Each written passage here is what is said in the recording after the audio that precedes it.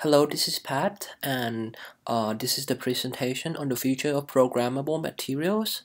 Um, this is an outline for the studio for the future of art and culture. This is like um, the proposal for what I would like to explore more um, in this class.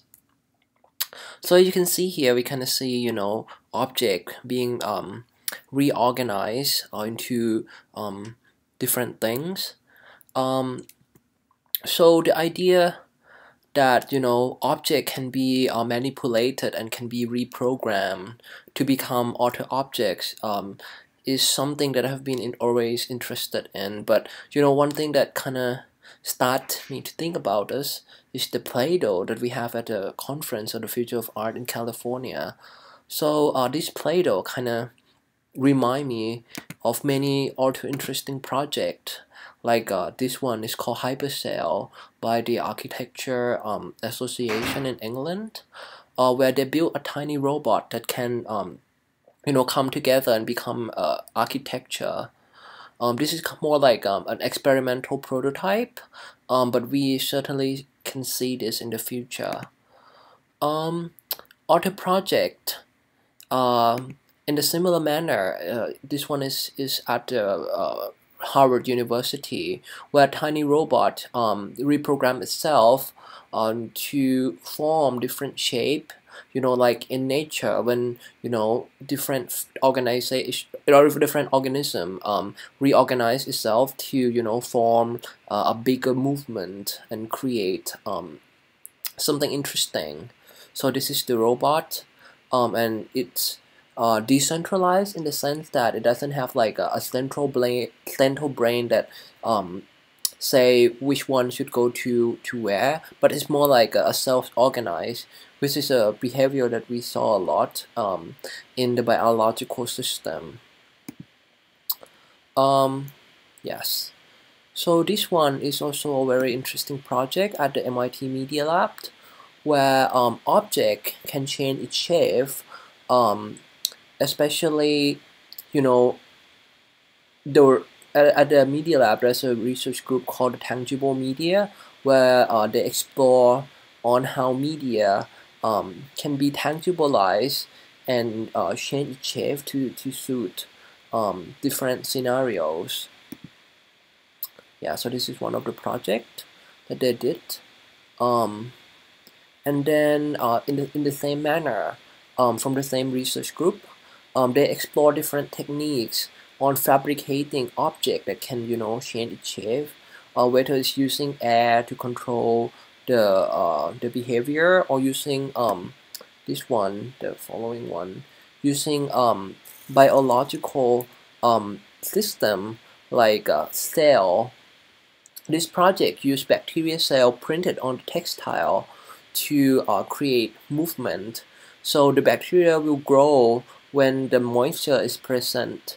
So like when, when people sweat, it will activate the bacteria on the surface to to uh, grow bigger. And that changed the um, the movement of the textile. As you can see here that um, they place these bacteria in the textile or nicely on the um, sportwear so um, as the as as this uh, person uh, move the the textile kind of open up and allow the the sweat to um, moisturize. Yeah. So this is a very interesting project um, interesting collaboration between bio art and fashion design. So it's very interesting. Yep and this one is my uh, project that um, my, my team in Thailand are working on. We develop uh, uh, food printers um, that can fabricate um, you know different material, uh, especially different edible materials, and um, we can kind of customize it in the shape that we want. So um, in the future, many things can be fabricated and 3D printed and even beyond. So I, I foresee that the future of materials um, are fabricated in the way that you know um, that can be um, that that that's beyond um, crafting. It's more like um, digitally manipulated and you know there's pro and con to that of course but i think it's, it's presenting some um, interesting opportunity also the future of materials um, can rely on the self-organization properties that you know um, object will be able to change change the set the shape of um, change the shape uh, because the, the molecules that made up of that, whether it's biological or physical, can you know orient um, it or you know can orient itself to become different object, and um, both of this uh, fabrication and organize and self-organization can be done in the way that human can program this material you know, we, we tend to think that programming is for software, for something digital, but now we are bridging the gap between, um, you know, object and programmable uh, properties. So um, a little more detail, as I mentioned, you know, things in the future can be fabricated. Human organ, like right now we have cell 3D printer that can print uh, the organ for us to replace. Um, we have robot that can build the bridge. Um, you know fabricate architectural building uh, and you know it can create interesting shapes that um, we may not inspire we may not you know think of it before or we can print the unconventional materials. Like this one is a 3D printer that can print mud into um, uh, some sort of a you know uh, structure. So in the future object can be fabricated in the fascinating way that you know we may never imagine.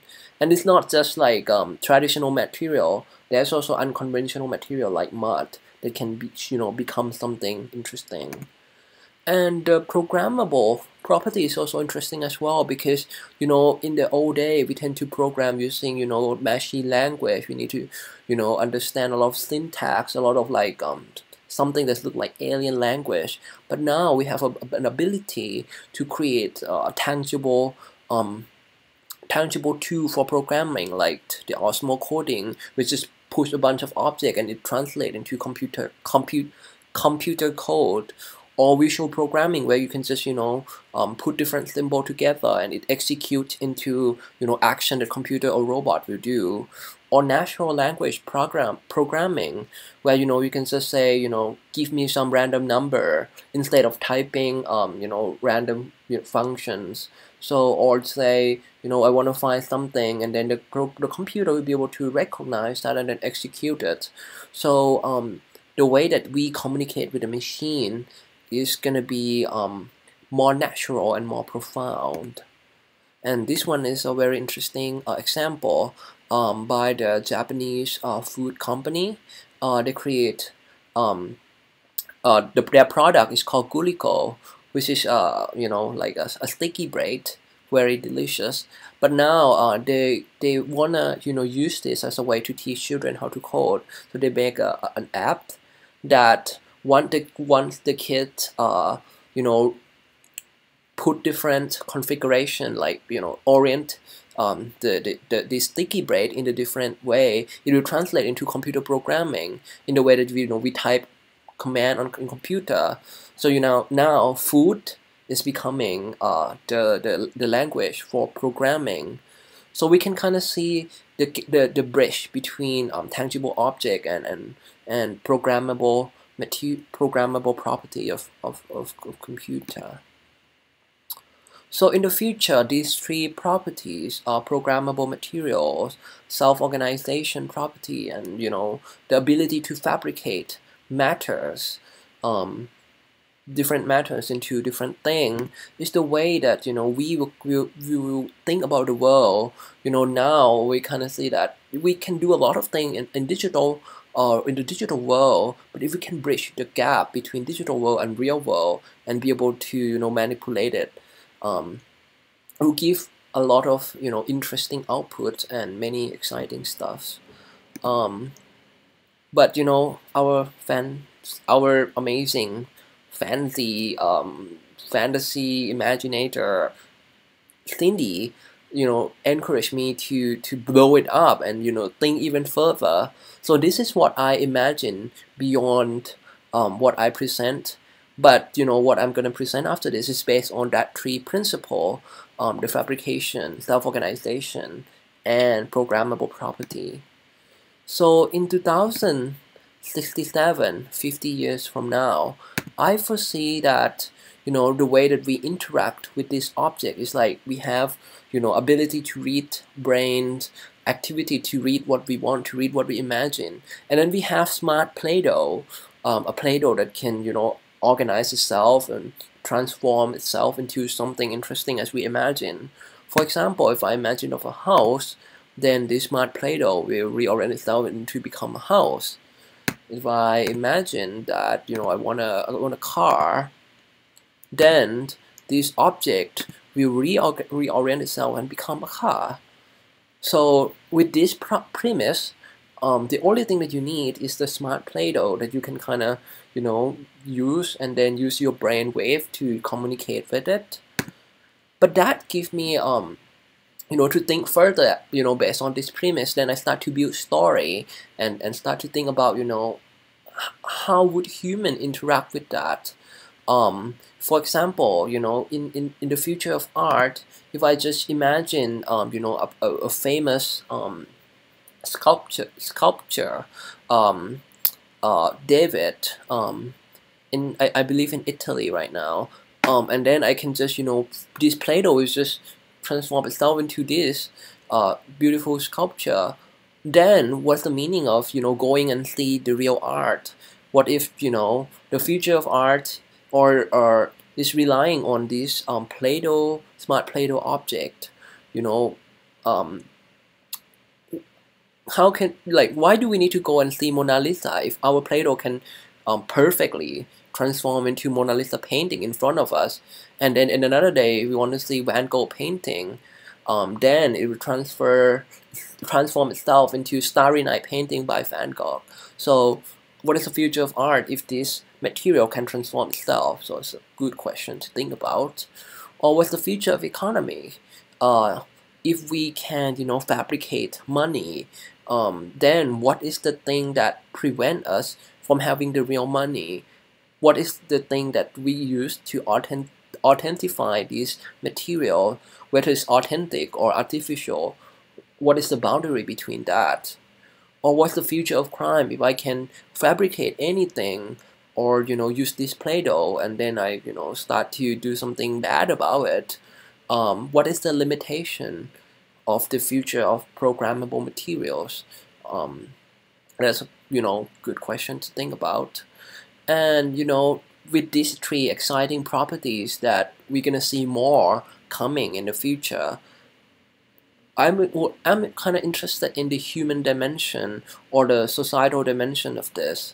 So um, so you know, I think it's definitely gonna take us to a strange new world that that we might imagine, but we need to imagine further.